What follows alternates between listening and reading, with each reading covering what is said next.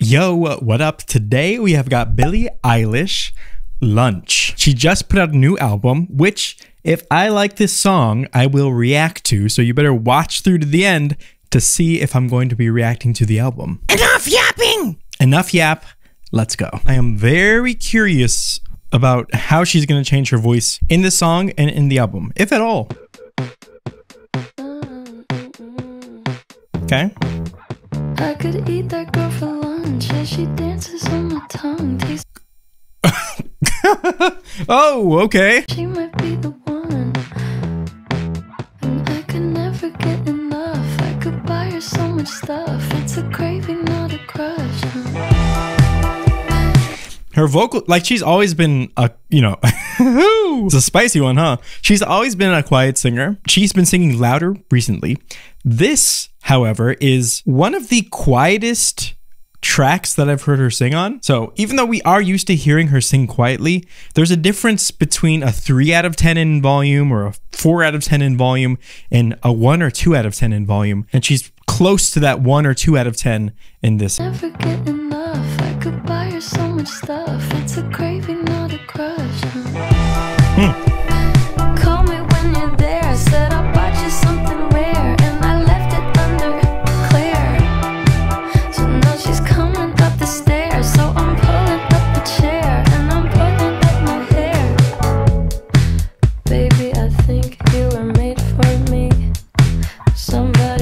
know, it's funny because she was accused of what was it called? She was accused of queer baiting for a long time, which I, I think is when you like pretend to be gay. Uh, but you know, she's gay.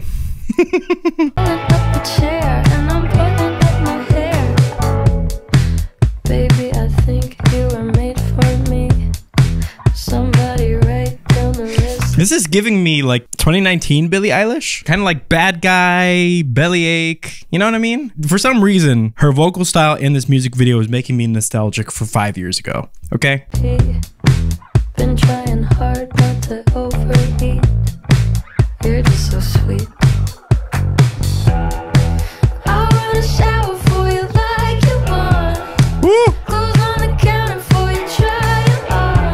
You know what a big part of it is? She's brightening up her tone again. And I feel like I have we've been hearing her kind of darken things up quite a bit. She's kind of getting that brighter, younger sound to her voice. And I, I I think that's a big part of this, along with the change in her volume. If I'm allowed, I'll help you take 'em off. Listen how bright she is.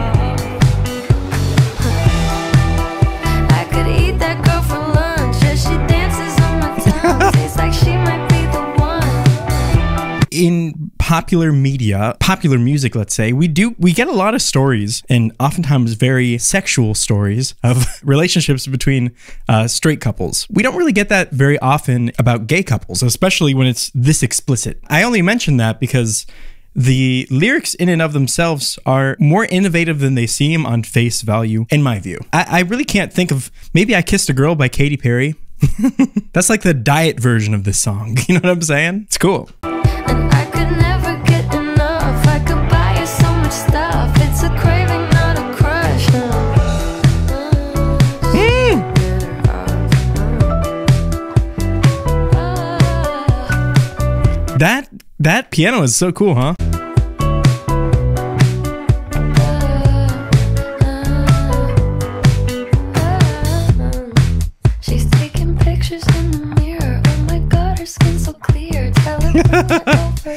You know what she kind of gives me the vibes of? You know what it is? She's giving some Portugal the man right now. It's basically the exact same vocal style. The only difference is their vocal cords, right?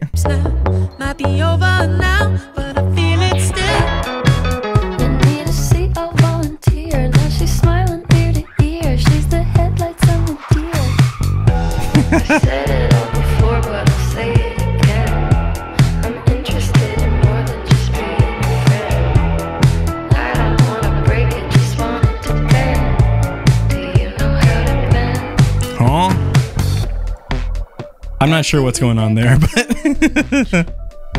oh, okay. From behind? I don't know. I actually have no idea.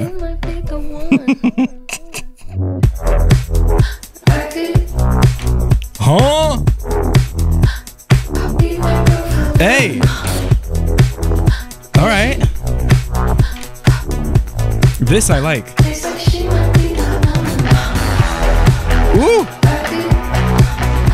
Hey.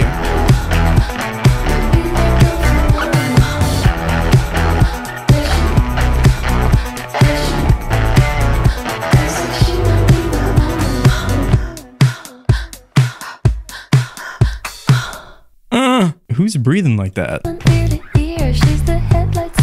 She's the headlights, I'm the deer. Woo! She's quiet, dude. She's the headlights, I'm the deer. She's the headlights, I'm a deer. That is basically that one or two out of ten in volume. And she's there throughout most of the song, aside from the chorus, where she does get a little bit louder, but she still keeps that super bright tone to her voice. I am now interested in hearing the album, so we're going to be reacting to that, of course. Oh, hey, look, top comment. Katy Perry, I kissed a girl and I liked it. Billie Eilish, hold my beer. I'm a genius.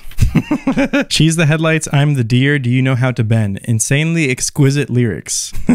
Can someone explain the bending line to me? The way she points at her mouth when she says, You need a seat, I volunteer. Oh, softly sung 203. I don't want to break it. I ju- just want it to bend. Is the biggest brain sketch ever. I. What? Break what? What is breaking? Huh? What is breaking? All right, but hey, look, we're going to head right into the album. Wasn't sure if I was going to do it. I think we're going to do it. See you there.